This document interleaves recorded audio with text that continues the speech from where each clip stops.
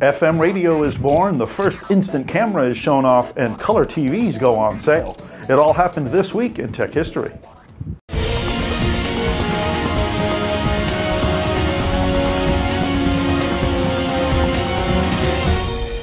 This week in 1873, E. Remington and Sons began manufacturing the first practical typewriter.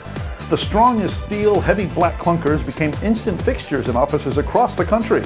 It would be another half century before electric typewriters made their appearance. In 1941 this week, FM radio began in the U.S. when station W47NV in Nashville, Tennessee started operations. This was the first commercial FM radio station to receive a license, some 20 years after its AM radio counterpart KDKA in Pittsburgh. After 10 years of financial losses, the station ceased operations in March of 1951. This week in 1947, Edwin Land demonstrated a nifty new gadget to the Optical Society of America in New York City. It was the first camera to take, develop, and print a picture on photo paper, in black and white, all in about a minute. He called his invention the Polaroid Land camera. It became an instant success. In 1954, this week, the first color television sets using the NTSC standard are offered for sale to the general public. The RCA CT100 set offered a 15-inch screen and sold for a cool $1,000. In today's money, you'd be looking at over 7,500. While other sets had beaten RCA to the market slightly, it was RCA's backwards compatibility with black and white broadcasts that came to define the market.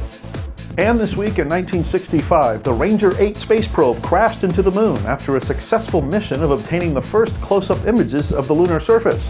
These pictures were used for scientific study, as well as helping to select landing sites for the Apollo program astronauts. That's our look back at This Week in Tech History, brought to you by IFA in Berlin. IFA, the Global Innovations Show.